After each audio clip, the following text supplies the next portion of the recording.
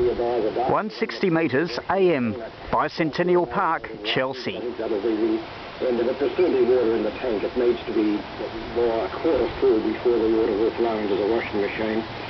And uh, the other one, which I usually uh, bucket the water out of, when I say bucket out, uh, run the water into buckets and uh, cart it round to the various trees I water. That's that's getting down. It's below a third. Uh, it's probably getting down to a quarter full also. So uh, back to the days when I first installed the tanks. I think the first tank I waited for months before it got anything like full, and the second one took uh, took a similar length of time. Anyway, waffling on too much. There may be someone else round by now. Let's see. Uh, uh, which direction we were going. I put it over to Drew.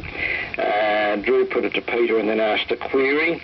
And then back to. So over to you again, I guess, Drew. VK3XU and the small group, VK3CKL. Not even any latecomers.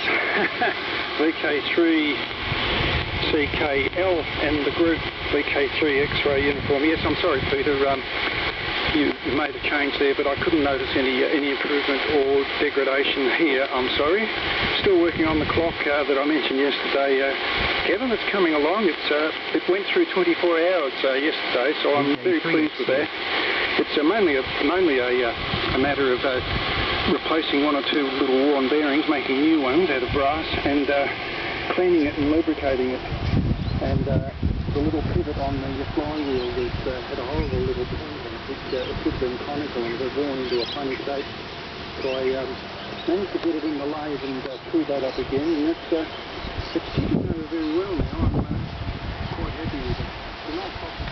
160 metres portable from Bicentennial Park, Chelsea.